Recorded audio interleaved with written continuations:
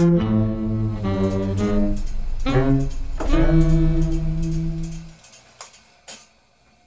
Chuck. Today we'll be teaching you how to move all of your Aperture library over to Lightroom. This is a great website here, moving from Aperture to Lightroom. Um, goes through all the major important things. Uh, first of all, take a look at that. I'll have a link in the show notes right here. And uh, we'll be starting with a backup first. So let's make sure that you've done a backup.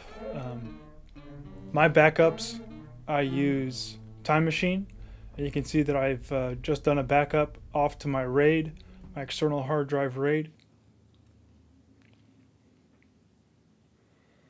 I also have, those are two hard drives that are off uh, connected together in a RAID.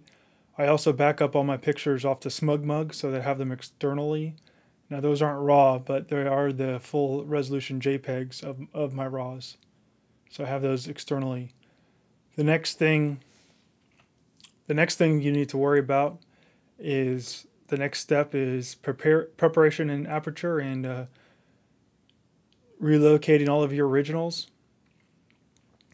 So make sure that you understand where your pictures are in aperture and make sure you understand where they're going to be in Lightroom. I have my article talks about that. You can take a look at this blog link. as you're considering moving the pictures in aperture, you need to make sure you understand where they were and where they're going to go to. I have here a file structure in my pictures folder where I have all my files organized by month and by year. It's the same structure I use inside of Aperture. And it just happens to be the same structure that's going to have that's going to be inside of Lightroom when I'm done. So I'm moving all of these files from inside of the Aperture application to a folder outside of the Aperture application uh, onto my hard drive. And they are going to where they're going to need to be for Lightroom. And that you saw that function there was relocate originals. And that's exactly what I'm doing. I'm moving those originals from inside Aperture to a folder. Okay, um, so you can see that make sure that you understand how your adjustments, keywords, and other metadata is going to be moved. Um, one thing you that you can do to help get some of that metadata over, including keywords and all that, is to write that IPTC to the master. And it tells you how to do that. Just follow its directions explicitly and it'll work. I tried it it comes up with this, pops up with this warning sign here. And um, go ahead and read it and then hit write. It'll write all of those, all that rating information. You can see I have um, some are rated as one, some are rated as zero, and there's also keyword information in there. Okay, the next step is a big one. You're going to be adding all those pictures to Lightroom pretty simple. Just make sure you use the add feature for imports in Lightroom.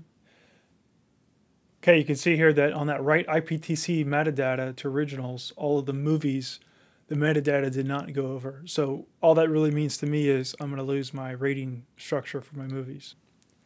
I'm in the library module. There's import at the bottom. You can also import um, using Shift Command I or from the drop down menu. We're going to be importing from those folders that I showed you a second ago. Um, they're under Trine Media, under Pictures,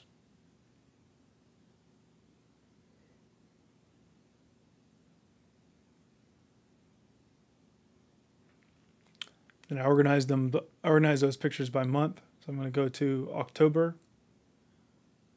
There are all the pictures. Previews are loading. Just make sure that you have the add feature and it's going to, it's going from the, those folders, that folder, it's adding to my catalog.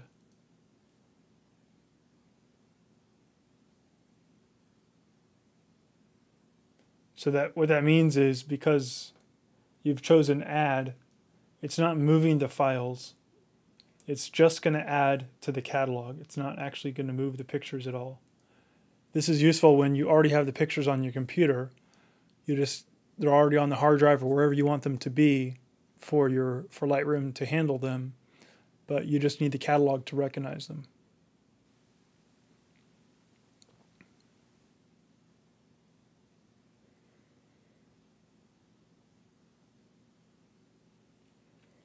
So you can see here they're being added. They're going to my hard drive, or they were already on my hard drive. And I can pick those, open up those pictures by going to the folder that they are. You can see that it has the information for the lens, the ISO, all the information that was captured when the picture was taken, the time that it was captured.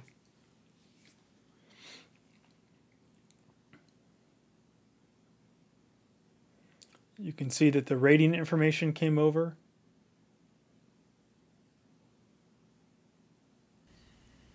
You can see that the keywords did come over. You can see HDR and panoramic there.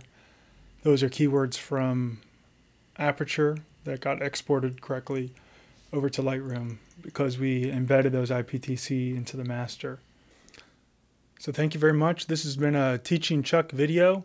Hope that uh, made sense to you, Chuck. This is a production of Trine Media. Hope that answered all your questions about how to get your Aperture library over to Lightroom.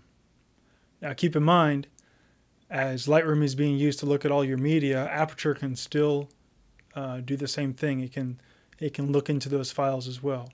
Just make sure that you pick which program you're going to use to make changes to your pictures because any changes made in one won't be seen by the other. So I hope you enjoyed that and look forward to doing some more in the future. Thank you.